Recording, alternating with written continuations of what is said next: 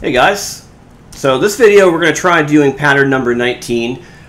Uh, this is in the advanced one. I don't really know if this is really uh, too difficult once you kind of figure out a couple tricks with it, but uh, it did take me a couple times to do it, and I've kind of done this one uh, two different ways. So the, the, first time I did it, uh, what I actually did is probably what most of you would assume, which is let's just get that kind of one circular shape with that sort of like uh, almost like a diamond kind of effect in the middle where we have this crisscross of lines and that circle. Uh, now I could do just that circular piece and then try to get that to tile, but the one issue I ran into with that one is when you do that, when you kind of get this circular piece to overlap with the other circular pieces through a generator, there was a lot of back and forth trying to get the lines to not cross over the next circle. And so I just felt like I was spending too much time jumping back between the generator and the shapes to get it to like look perfect. So instead, what I kind of found was maybe a little easier actually is instead of doing a circle, what if we broke it into this as our tileable section? So it's going to be um, the circle in the middle and we're going to try to get just the corners because this right here could also be visually like what we consider a tile. That might be slightly simpler for us so we don't have to kind of worry about the generator fighting with it the whole time. Let's try it out. Uh, now back here we're going to make a shape node. Uh, of course we're going to start with a disk and since I'm going to have to do a few edge detects on this, let's bring the scale down to like 0.95. Select it, edge detect, and we're going to invert it. See what the thickness looks like on that one. Um, that's actually probably close by default, so I think we're going to leave that the way it is. Now, after the edge detect, I also need to kind of get these circles in the corner. Now remember, this circle is going to tile, and you can kind of see how it just barely butts up on the edge of that tileable shape. Look what happens when I hit space to tile this. See how it's not right? Uh, what I'm going to do is transform the edge detect just to make it large enough where it barely collides with the other one. Let me, okay, let me check. Is that what's happening? Do they kind of overlap? I actually have them overlapping too much, so I'm going to scale this in a little more. It probably needs to be right about there. So they barely touch, but they don't actually like cross over each other and share the line. All right, let's hit space, get rid of the tile for a second. So there's one. Now, on top of that, if I kind of come back here, we have that one piece, but there's also those overlapping circles that are kind of kind of create this little shape right here. So how do I get that? Uh, that's going to be pretty easy. So if I take this shape here, let's do another transform off to the side with this guy and we're going to do a 50% offset vertically and horizontally. And you can see how we're already kind of getting that shape. And look at the reference, that is exactly that right there. So what I think we can do from here is take those two pieces and then we're going to blend them together with our max lighten. There we go. All right. So there, there's a good chunk of that already finished. Now what I'm missing is this section right here. And notice how like on the outside, again, if we're thinking about this being the tileable section, this area also has to tile in the corner. Let's try to get the center part working first. And I think the rest should kind of like just fall into place. So I've got a circle and a couple lines. Okay. Now I need to make sure the lines don't cut through the circle. So I'm going to make sure that we also mask something off properly. Let's take the same shape node. I mean, why not? I mean, it is, it is a disk. We don't need to make a brand new one for the same shape. So we're going to take the same shape node, uh, put it into transform, and scale this down quite a bit. But on the transform, we're going to turn off tiling so it doesn't repeat. And I'm going to make sure this hits an edge detect. And uh, let's invert it. Okay. Uh, now let's kind of see what this looks like when it blends into this guy. Okay, what do we get when we max these two together? Okay, position is probably fine, but the scale is not good. So back in that transform where I scaled it down, I can just scale it until right about maybe there. Let's see. That actually is probably about right. Okay, we're going to go with that. That feels okay. Now I want to get the lines cutting through it. Now to do this, let's try doing a, let's do a shape node. We're going to scale in one direction, like X, make it pretty thin. We have to play around with the size to get it perfect. We're going to bring that in just a little bit. And I need to turn it because this needs to be at like 45 degree angles. Let's come down here. We're going to do 45. And I wonder if we can get this to mirror properly because I need to make like an X with it. I didn't really do this last time, but I'm kind of thinking this might work. Okay, that's X. Um, okay, so the corner, if I, it's pulling from the top left where there's nothing. I bet if I do top right, it's going to work.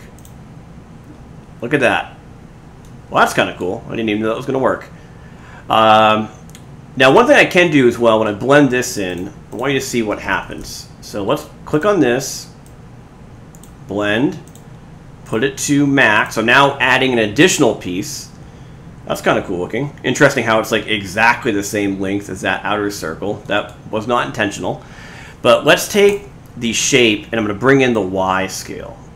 Okay, we're going to bring this down right to the point when it kind of collides right there. Now what I want to do is also bring in the width because that looks way too thick. So let's manually type in 0.01. That looks much closer. Okay, so pretty good. The only issue I'm running into is I don't want it to cut through the circle. That needs to be kind of left open. The good thing is we can do that because we kind of have that circular shape we built back here. This guy is going to be the, the solution, that original white dot. So what I can do is pull this and basically molt that or subtract it from that result. So let's uh, let's try this out. Hopefully it doesn't eat into the other shape, but let's see. So what happens actually if I subtract it? from this guy. So I'm subtracting the white from the other shape. Now it did work, but look what happened to that line. So it's eating into it. Okay, so let's think of another way to do this. Let's delete that. So these are adding together uh, based on this guy. I want to make a shape that just doesn't allow it to add in this one section.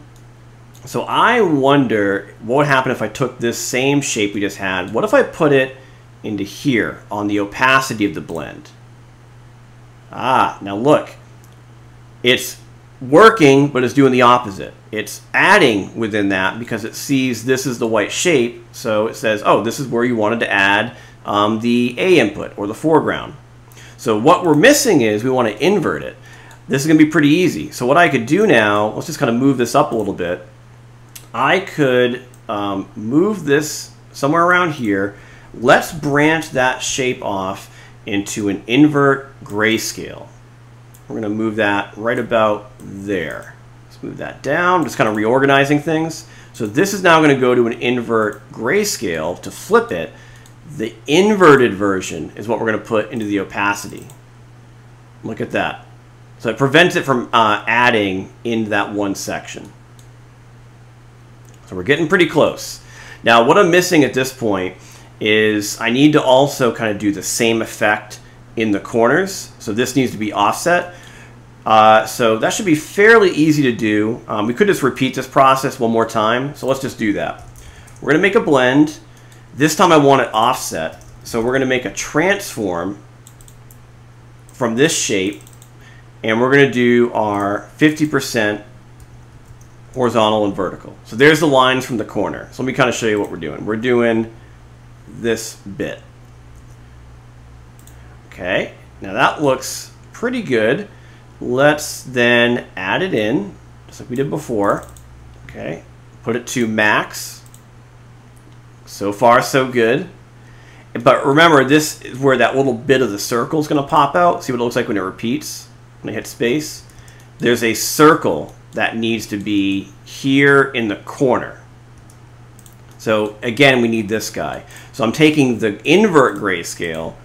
That's also going to get put into a transform, and we're doing the exact same thing. We're going to offset it so it follows this. Oh, look what happened here. Okay, so this guy right now is not tiling. Now the reason it's not tiling is because way earlier on when I scaled this down, I actually killed the tiling on this guy. This is an interesting little issue. And it, you can see how it kind of carried through. Well, that kind of stinks. Not a big deal though, because I bet our, the way to fix this guy is going to be just to move this over a little bit. Let's take this and then mirror it around to fill in all the other space. So we're going to do mirror grayscale. Okay, see how we're doing this? Pulling from the top left, from the corner. There we go. So this is a little quick way to fix that problem. Even though it didn't tile, we can still get it to work. Now this is what we're going to want on the next opacity connection. There we go. Oh, I'm missing the circle. The obvious thing. Whoops. We forgot that guy. So the circle never made it over there. That was my mistake. Uh, all right, we're going to have to kind of rearrange this a little bit. It's getting a little unorganized. So let's move this up. We're going to do a transform. And I bet it's going to have the same issue that we saw before. Let's see. So we're going to move this guy up. Let's uh, move this over here. What I'm taking is that uh, the initial outline for the circle, we need to like take this guy, offset it, because I need to put this in the corner. Yep, there it is. There's my problem again. I then need to mirror it. Keep typing in mirror incorrectly every video. Uh, mirror, we're going to do mirror corner. Okay, there's the circle. And see, how did I do this before? That was just adding. Okay, I'm going to move this over. We're going to put a blend right here. Oops, that needs to be the foreground and background. And set to max. Okay, there we go. There's the corner. Now, when it gets to the line, it's perfect. This one's kind of crazy looking, um, the way we kind of did this one, because we have so many different, like, overlapping connections. But we're ending up with the right result, and if you tile it, you can see it's, it's definitely working. Now let me just kind of come back here and see what's going on with the tile.